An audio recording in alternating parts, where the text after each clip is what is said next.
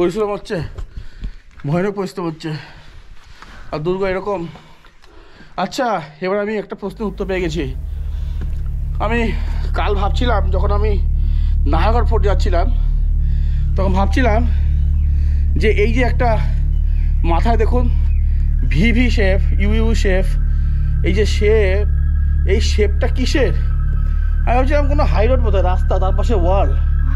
কিন্তু এইবারে আমি বুঝতে পারলাম এটা দুর্গের রাস্তা। এটা সেই গুহা মানে গুহা না কি বলব? টানেল সিক্রেট সিক্রেট টানেল আচ্ছা। লোয়ার সিক্রেট ওকে এই দুর্গের থেকে ওই দুর্গের উচ্চতা বেশি তো। হ্যাঁ আমরা হাই অল্টিটিউডে যাচ্ছি। দুর্গের উচ্চতা বেশি ওটা উঁচুতে তাই জন্য নজর স্টেপটা এরকম। একটা স্টেপ গিয়ে আবার ঝট করে নিচু। একটা স্টেপ গিয়ে আবার ঝট করে নিচু এরকম করার কারণ কি? জল। ও আচ্ছা। এই সায়েন্সটা করা হয়েছে এরকম। ওই মাথাটা উঁচু, একটা স্ল্যাব স্ল্যাব করা আর কি, একটা পার্ট ওই পার্ট থেকে এসে এই পার্টটা নিচু হয়ে যাচ্ছে এইভাবে নিচু হয়ে গিয়ে এই যে জল যাওয়ার জায়গা। মানে যেন জল জমতে না পারে, এই জন্য এটা করা হয়েছে। যেহেতু ওপেন তাই। ওকে কি, কেমন লাগছে? বেটার আগে চলো। সৈন্য আগে চলো। রাজা পিছু থাকো।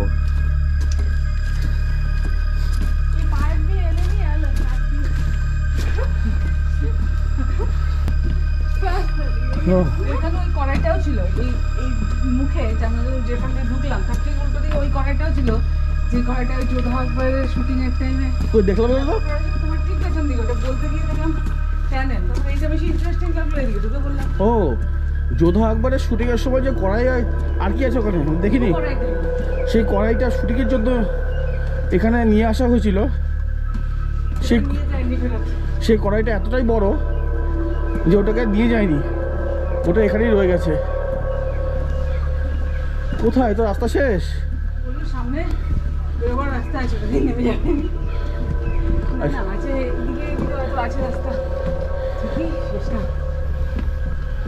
ওকে ভাবে উপরটা যদি ঢাকা থাকতো দম বন্ধ হয়ে যেত এই জন্য ঢাকে দিই.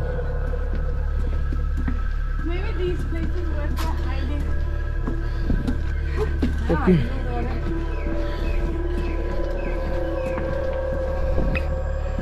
রে বাবরে সত্যি রাজাদের জীবনও খুব একটা সুখের ছিল না। এই যে এটা হচ্ছে ইমার্জেন্সি এসকেপ আমাদের জন্য। সময় এখান দিয়ে উঠে গেলে ওই যে উপরে রাস্তা পেয়ে যাব। তো। এবং বাকিটা কিন্তু বদ্ধ। তবে কি এইদিকে জঙ্গল আবার? বাপরে বাপ, কীরকম ছিল ভাবুন একবার চোখ বন্ধ করে। এবং এগুলো কিন্তু ইমার্জেন্সি এসকেপ হ্যাঁ? যেতে পারে এদিকে লুকিয়ে পড়তে ঝোপ ঝোপঝাড় জঙ্গলের মধ্যে। খুবই পরিকল্পনা তৈরি করা হয়েছিল এন্ড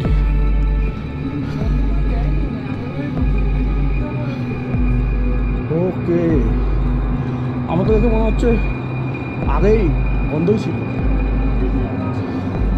তো এইরকম বানানোর মানে কি? আমার মনে হয় এটা এটা পায়ে হেঁটে ওঠার রাস্তা। ছিল ভেঙে গেছে হ্যাঁ এই যে একটা, এই যে একটা, তারপরে এটা একটা তারপরে ওই যে একটা এরকম পাট পাট ছিল, ভেঙে গেছে। হ্যাঁ। চলো।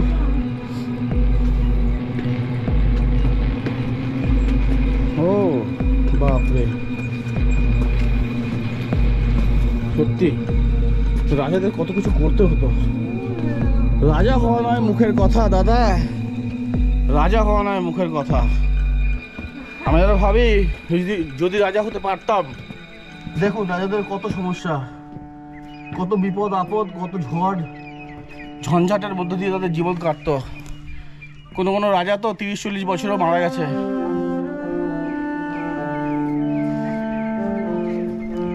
ফুটে এসেছি? উড়িন না। বাহ! সুরঙ্গ।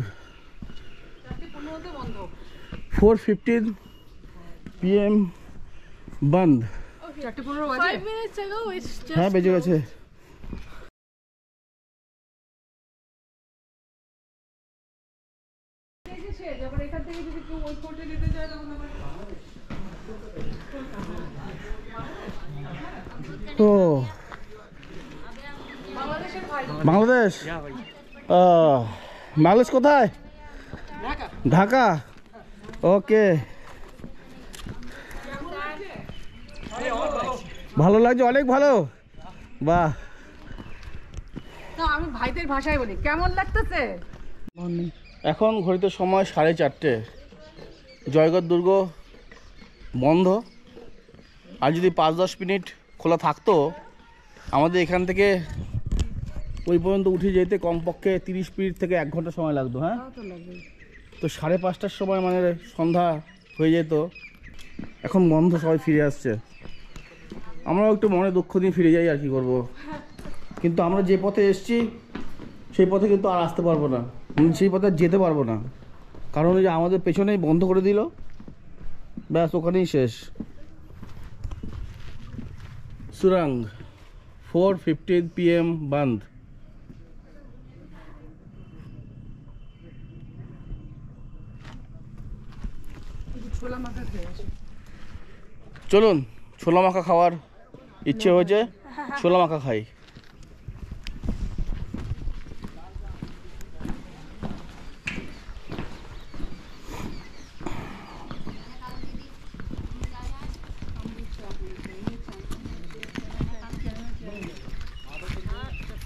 জয়গড় দুর্গ থেকে আমরা অনেকটা নেমে এসেছি পায়ে হেঁটে। কারণ ওদিকের যে সুড়ঙ্গ সুড়ঙ্গ এখন বন্ধ।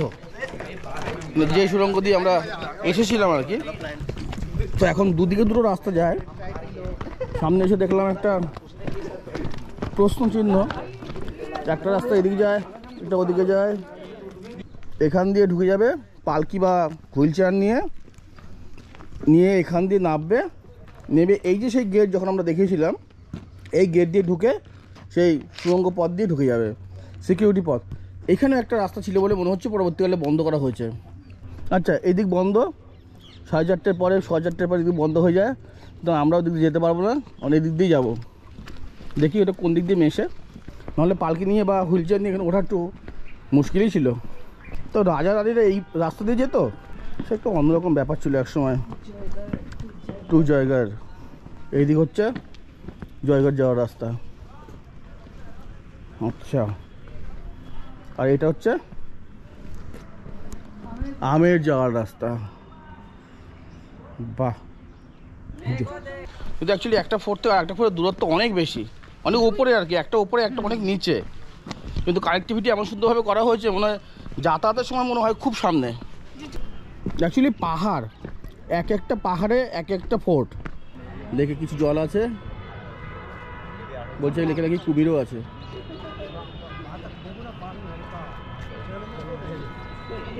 দেখি লেগে এক পাক দেওয়া যায় কিনা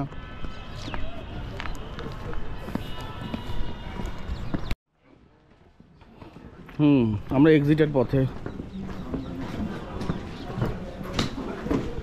বাপরে কি সাইজ ওরে বাবা এ এক চেনের সাইজে তো মনে হচ্ছে এ একটা সাইজে তো মনে হচ্ছে এক কেজি প্রায় ভয়ঙ্কর সাইজ বুঝুন। এই চেনটা যদি আমরা আমাদের দরজায় আটকাই দেখা যাবে দরজা কয়েকদিন মধ্যে খুলে পড়ে গেছে উপর থেকে। ও বাবা, এটা আরেকটা দরজা। দরজা দরজা দরজা। মানে সিকিউরিটি ভয়ঙ্কর সিকিউরিটি যখন মুঘল ছিল মোগলের সঙ্গে ভাব। যখন ইংরেজ ছিল ইংরেজদের সঙ্গে ভাব। সুতরাং কেউ সাহস পায়নি। অ্যাটাকের কোনো চান্সই নেই। বিশ্বাস করে। হ্যাঁ শান্তিপ্রিয় ছিল। যুদ্ধ যুদ্ধ তো পছন্দ করতো না। যুদ্ধ তো করতো ভাই ভাই যুদ্ধ করতো। নিজে নিজে যুদ্ধ করতো কিন্তু বাইরের শত্রুকে ভিতরে ঢুকতে দিত না। যদি কেউ বা কারা চেক করতে না চান পায়ে হাঁটতে না চান হাইক করতে না চান তবে এই গাড়িতে উঠবেন চলে যাবেন। কি পঞ্চাশ টাকা? আপ পঞ্চাশ টাকা ডাউন মানে একশো টাকা আপ ডাউন এই তো? মোটামুটি চলে এসেছি ঘুরে ফিরে সেই জায়গায় যেখান থেকে আমরা স্টার্ট করেছিলাম। আমরা ওখান থেকে এসে এখান দিয়ে ঢুকেছিলাম। এবার চেনা চেনা লাগছে? হ্যাঁ এবার চিনতে পেরেছি। ওকে।